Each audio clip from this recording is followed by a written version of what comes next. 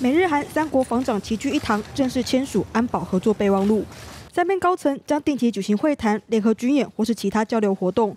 就算各国面临政党轮替、改朝换代，也不会影响三边的军事合作关系。今回の開催は歴史上初めての東京開催で These are unprecedented stre- steps for our trilateral security partnership. 북한의 지속적인 미사일 도발은 한반도미 영내 평화와 안전이 위협받는 시점에서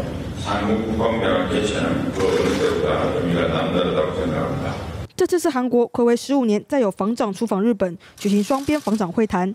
日韩防长同意加速双边的军事合作关系，但这次更重要的是美国与日本双边防长与外长的二加二会谈。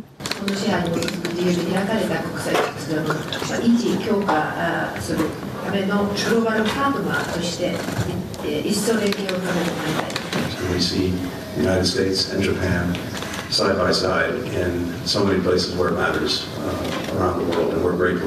美国在这次的二加二会谈上，向日本表明驻日美军的组织重整计划。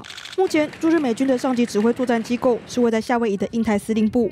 美军打算在日本增设新的司令部，作为日本自卫队将在明年春季之前新增统筹三军的统合作战司令部的对口单位。而新的司令部，不论是平时或是战时，都能指挥驻日美军，是历史性的一次重大突破。现在，印度外长也已经抵达日本，美日印澳 QUAD 四方安全对话即将在二十九号举行，将讨论四国的经济、外交与军事关系。金新闻张文杰、新闻报道。下载静新闻 App，一手掌握新闻时事，尽善尽美，尽好新闻。